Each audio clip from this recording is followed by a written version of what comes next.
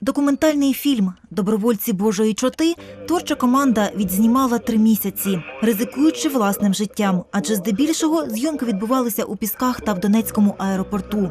Стрічку вже презентували в Італії, Новій Зеландії, Австралії та Польщі, а також в кількох містах України.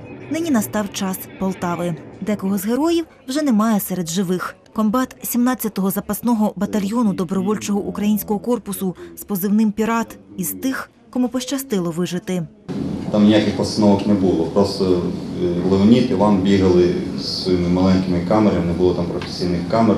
Ці абсолютно безбашені люди, хоч якусь зброю мали в руках, щоб в разі чого там відбитися. Створили фільм за рахунок благодійних пожертв. Робота над стрічкою почалася зі зйомок добровольчого корпусу.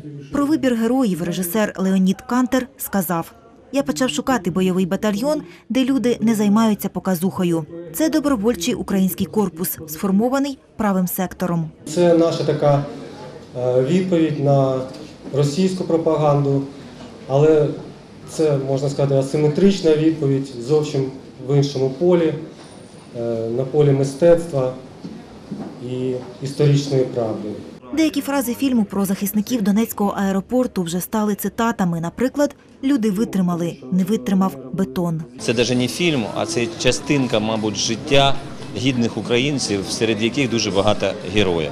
Єдина така гарна позитивна емоція, що нас дуже багато тих, хто любить свою батьківщину і хто готовий служити своїй батьківщині, віддати найдорожче. У Полтаві покази стрічки Добровольці Божої чоти обіцяють продовжити з 3 вересня. Полтавці, які вже переглянули її, не приховують емоцій.